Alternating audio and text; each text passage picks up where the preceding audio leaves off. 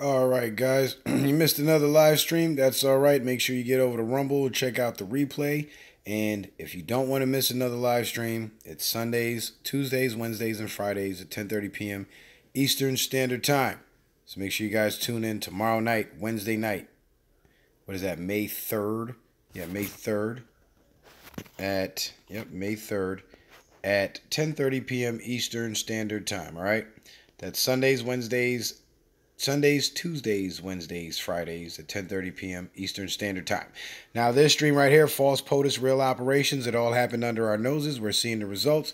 Well, this is definitely one that you got to see because it's a bit of a recap, but it puts things more into perspective with you know what's happening in the current situation and well where we're headed from here.